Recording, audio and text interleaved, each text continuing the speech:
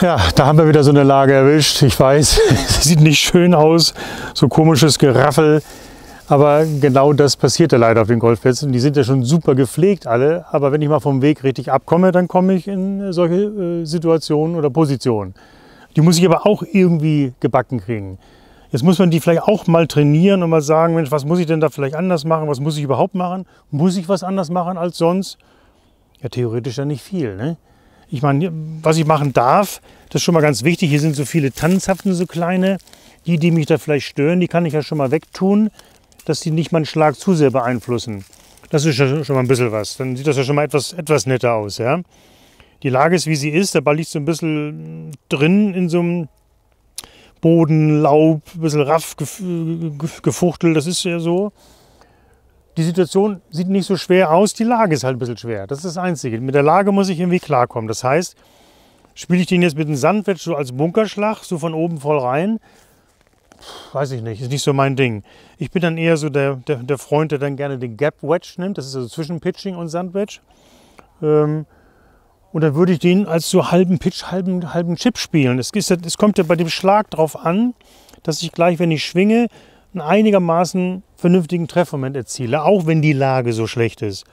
Und dann muss ich ja nicht bis zur Fahne spielen, Leute. Ich höre dann immer, ja, bis zur Fahne und dann, und dann soll er liegen bleiben. Hä? Wie soll das denn gehen aus der Lage? geht nicht. Und ich habe ja Glück, ich habe ja hier nicht so viel im Weg. Ich habe Vorgrün, das Grün noch relativ weit ähm, Platz. Also ich will ihn von der Kraft jetzt hier nur bis zum Grünrand spielen, weil der wird aus der Lage immer noch trotz schrägem Schläger relativ viel Roll erzeugen. Das ist so. Das muss ich aber wissen. Ich muss planen. Also bis zur Fahne völliger Quatsch. Ich stehe ein bisschen schmäler, nehme den Ball vielleicht ein bisschen nach rechts, damit ich eben nicht fett schlage und muss so, so eine Schwunggröße machen, wie ich jetzt hier mache. Mein Ziel ist natürlich am Ende die Fahne, aber mein Flugziel ist maximal Grünrand. Also ich sage jetzt mal halbe Distanz. Also ruhig stehen, gucken nochmal und mich darauf konzentrieren, dass ich am Ball einigermaßen sauber am Ball ankomme.